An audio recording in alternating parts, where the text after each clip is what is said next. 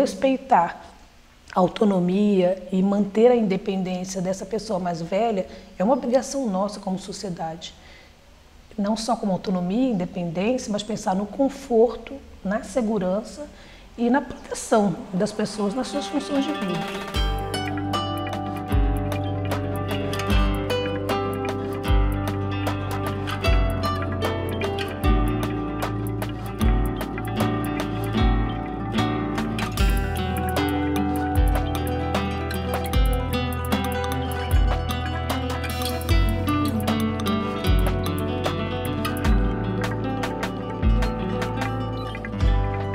Gerontecnologia é, é um conceito novo, especialmente aqui no Brasil, mas ele se destina a descrever o encontro desse desenvolvimento tecnológico com o envelhecimento da população. Né? Na verdade, ela nasce como conceito, como campo de conhecimento interdisciplinar é, da necessidade de pensarmos é, soluções para muitas demandas que os idosos têm em suas vidas, e aí pensando o idoso de uma forma muito ampla, né? não só pensando o idoso que precisa de cuidados, mas de uma forma, a vida, né? É, o idoso em sua vida normal, natural, e também pensando que a, a tecnologia ela pode oferecer soluções, né? assim como ela está integrada em todos os aspectos da vida. Ela se organiza em cinco dimensões, que atividades é, de vida diária, saúde e autoestima, comunicação e governança, mobilidade e transporte. Essas dimensões, a gente olha né, é, uma pessoa é, mais velha a partir de um recorte de três eixos. E esses eixos, eles se dirigem ao engajamento, enriquecimento pessoal, compensação para quando alguma alguma habilidade ou competência que uma pessoa mais velha tem começa a declinar e também a, a, ao cuidado e organização do cuidado. É, eu acho que é extremamente importante esse, essa organização de pensar a gerontecnologia dessa forma, primeiro porque nos convida a olhar diferentemente para a pessoa mais velha. Né? A gente tem um olhar muito focado naquilo que está declinando, como as habilidades visuais, como as habilidades motoras ou cognitivas, né? Mas a gente teria que pensar, por exemplo, na pessoa que trabalha, na pessoa que é um empreendedor, que viaja, uh, que estuda, uh, e que a tecnologia pode ser uma solução muito interessante, né? ela pode trazer soluções interessantes para que essas pessoas continuem engajadas.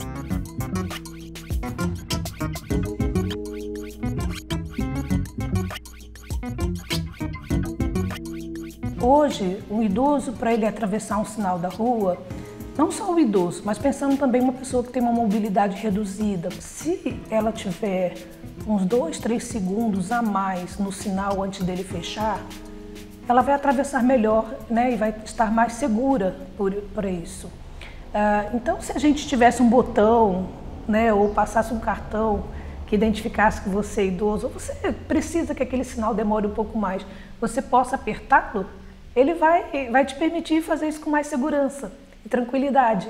Né? Então, assim, isso não é nada muito difícil para fazer. A gente tem desenvolvimento tecnológico para isso. Né? E a gente tem as necessidades da pessoa.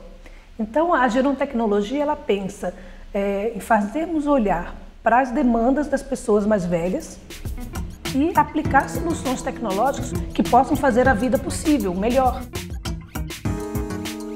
Então, a gente está falando de um conhecimento se aplica diretamente à vida, porque ele compreende as necessidades de uma pessoa idosa e traz esse conhecimento nesse casamento para que ele entregue soluções que possam deixar a vida da pessoa mais velha mais fácil, mais fácil, mais confortável, mais funcional e mais segura. Né? Então a, a ideia da gerontecnologia ela é, ela é essa, né? de, de emprestar conhecimentos de muitas disciplinas diferentes para entregar a sociedade envelhecimento. Né? A gente pensa a tecnologia como uma tecnologia aplicada a uma sociedade envelhecimento.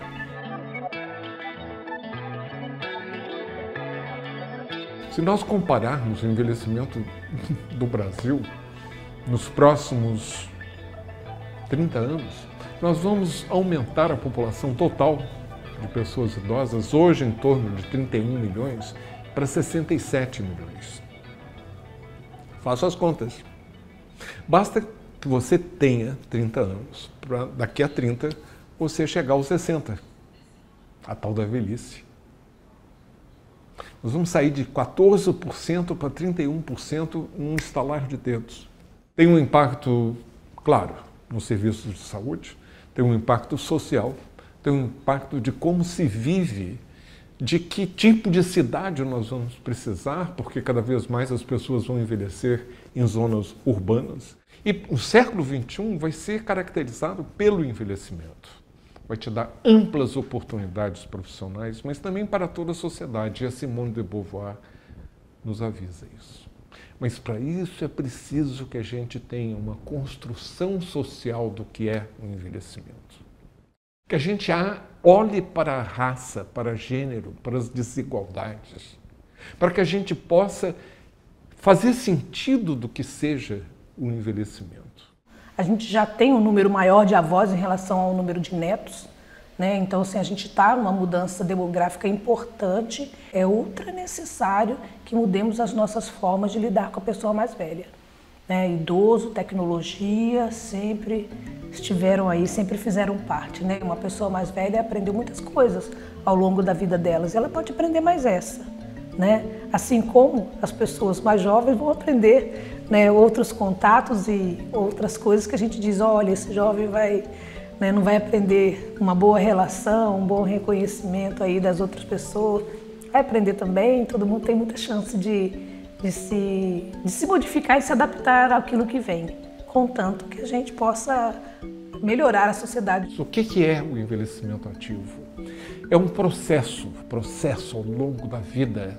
Olha lá o Cícero, olha lá Simone de Beauvoir. Ao longo da vida, para que a gente possa se preparar para a melhor coisa que nos pode acontecer, que é envelhecer. Morrer cedo é que não serve.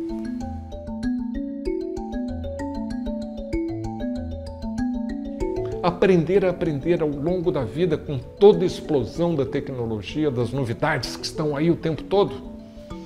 É preciso acumular mais conhecimento, sempre, ou você vai ficar redundante. Ao longo desse século XXI, ainda mais, só se pode prever que a tecnologia vai dar saltos quânticos. Com saúde e com conhecimento, você vai poder participar da sociedade. Mas é para isso importante que a gente lute pelos nossos direitos ou vamos nos passar para trás.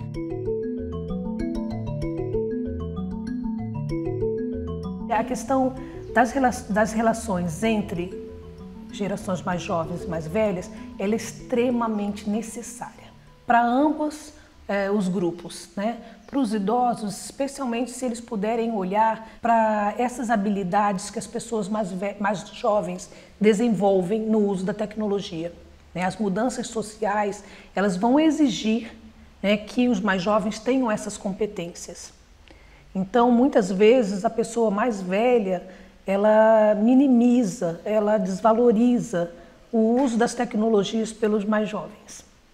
É, então, eu, eu acho que isso é muito interessante para reconhecer o valor que os mais jovens têm.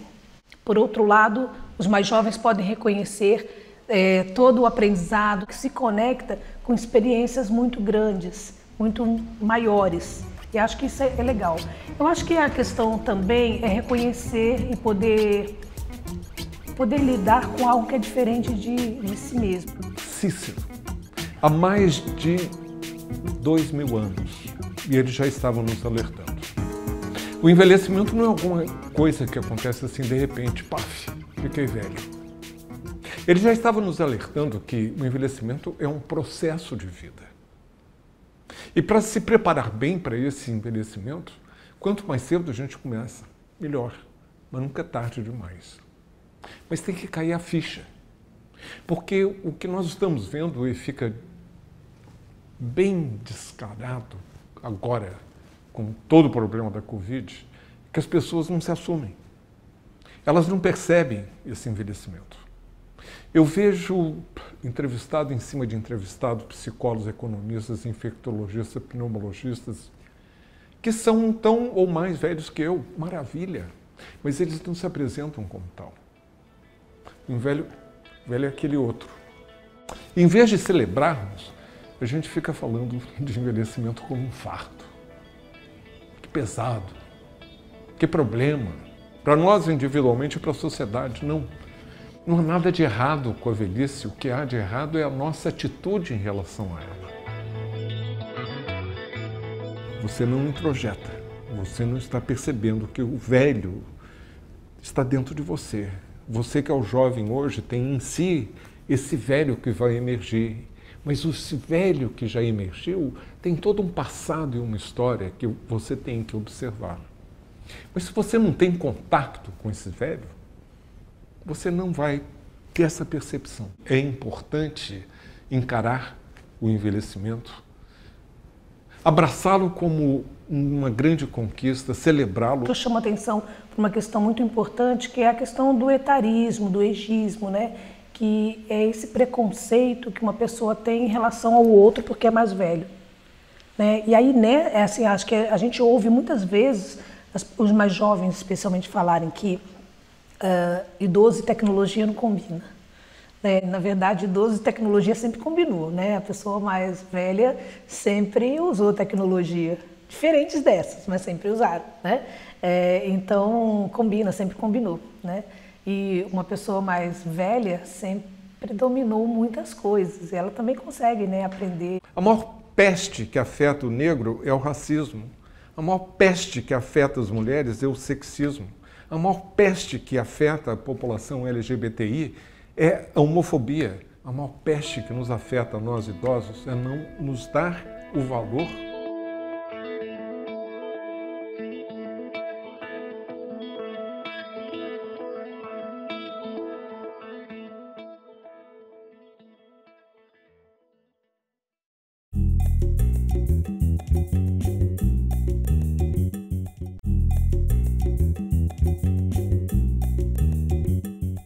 Especialmente os idosos mais velhos é que têm um pouco mais de dificuldade.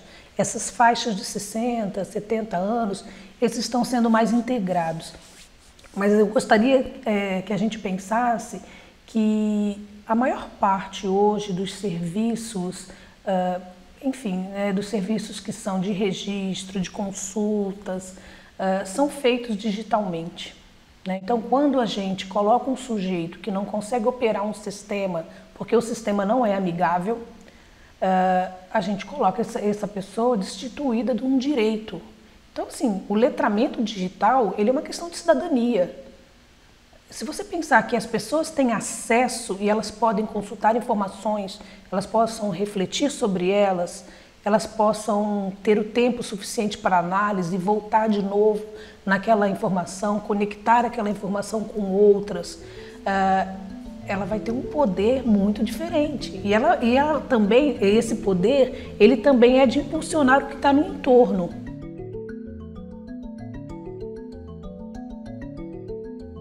A questão também do letramento digital, ele é tão importante e ele tira a dependência que muitos idosos têm de pessoas mais jovens. Isso é importante. Se a gente pensar, por exemplo, uma pessoa que vai até um caixa eletrônico e ela carrega um familiar com ela, ela não faz isso só por segurança. Ela faz isso também porque ela não sabe operar a máquina. Porque a máquina está programada em 3, 5 segundos recolher aquela tela. Antes que a pessoa pudesse pensar, escolher se ela quer é, ver o saldo, um extrato ou fazer algum outro tipo de operação.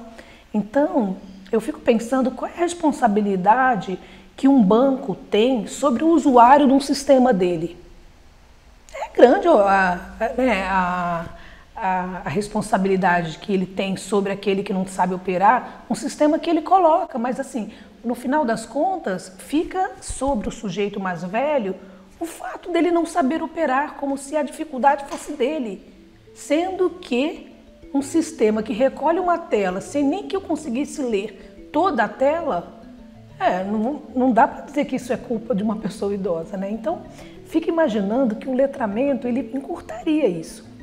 Ele possibilitaria que uma pessoa acessasse seu banco de casa ou que ele fosse até o caixa eletrônico e chegasse lá e tomasse as decisões sem que alguém tivesse que olhar quanto ele tem na conta, sem ter que ele aparecer como uma pessoa que precisa de ajuda para que alguém saia lá do, né, do outro lado da, da porta de vidro e ajude aquela pessoa como se fosse uma pessoa sem habilidades. Né? Então, que a gente está falando aqui é desse lugar que a sociedade coloca o sujeito idoso.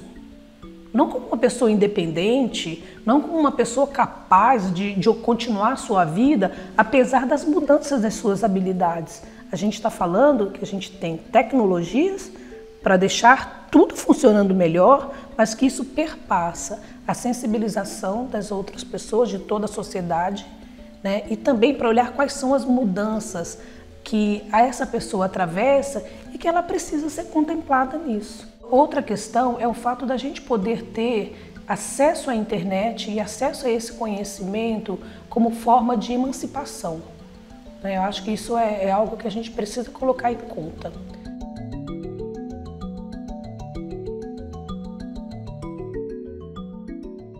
Foi muito interessante observar o início desse, da, da, pandemia e o momento que a gente está agora, especialmente porque no início a gente olhava para o idoso como uma pessoa que estava sendo ameaçada né, por, essa, por, por essa contaminação possível, uh, mas que era uma pessoa que precisava basicamente de comida e remédio. E ao longo da pandemia, a gente foi observando que outras necessidades essas pessoas tinham, especialmente de comunicação, né, as pessoas idosas passando por momentos de solidão, de isolamento social. E aí foi assim foi possível observar quantos idosos não acessam ou não usam o celular. Muitas vezes os idosos têm celular, têm os aparelhos, mas não sabem usá-los. Uh, outros não têm uma internet que permita um bom uso né, de tudo que a internet oferece. E isso não é só uma questão dos idosos, né? A gente sabe que os idosos são muito afetados por isso, especialmente porque esse grupo etário é o grupo que está na transição entre esse conhecimento analógico com esse conhecimento mais uh, digital.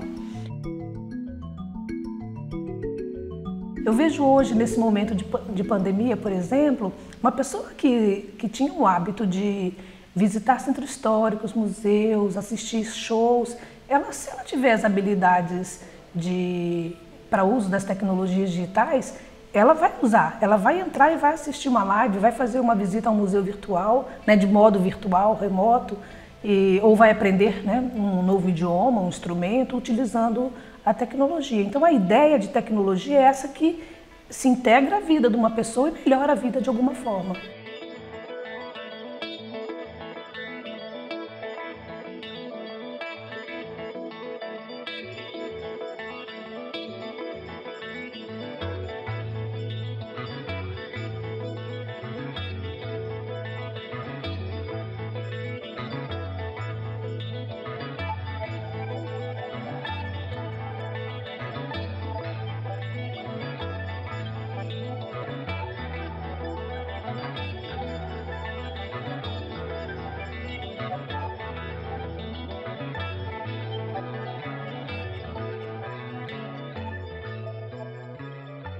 A função do Estado é muito importante.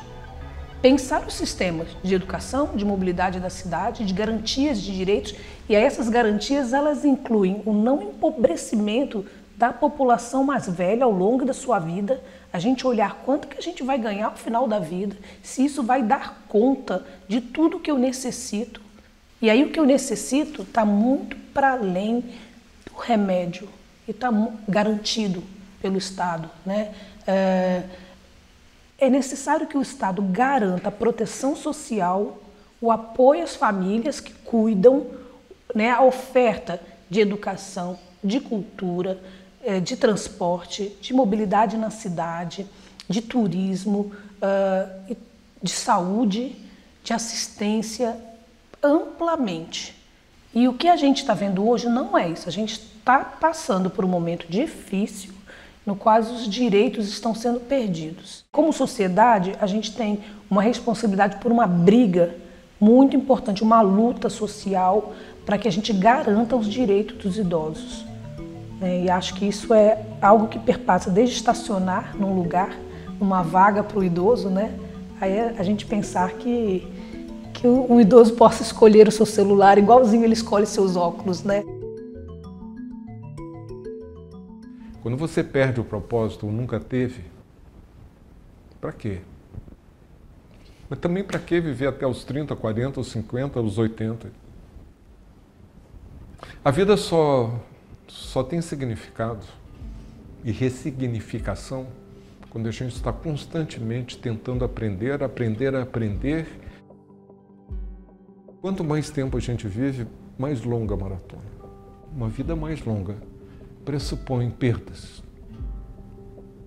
Perdas de afetos, perdas de amigos, perdas de familiares, perdas de status, perdas financeiras, perdas da saúde, perdas daquela beleza da juventude. Mas se você tiver resiliência, reservas aí dentro, você vai poder superar. Como aquele que correu a maratona pôde ter as suas reservas para superar, encontrar um caminho pelo lado, dar um salto por cima, poder crescer e se desenvolver com essas perdas que a vida mais longa pressupõe. E qualquer sociedade que aspire ser civilizada é uma sociedade que vai poder cuidar desses que são os mais frágeis, os menos resilientes, seja a razão que for. Aqueles que tiveram uma vida precária e precarizada. Aqueles que não puderam chegar no final da maratona, bem, mas que estão no final da maratona. A tecnologia ela sempre foi desafiadora, né? ela, sempre instigou é, o, o, humano, o sujeito, a dominá-la. Né? E, e, a gente tem que pensar na pessoa mais velha, no idoso, como uma pessoa plenamente capaz de dominar o que ele quiser, qualquer coisa. Então, se alguém em algum momento ouvir falar que a tecnologia não serve para você, isso é para o jovem ou isso é para a pessoa de um outro tempo, é, eu penso que ele não pode cair nessa. Qualquer coisa pode ser escolhida e dominada. Né? Nós temos competências e habilidades que possam ser desenvolvidas. Thank you.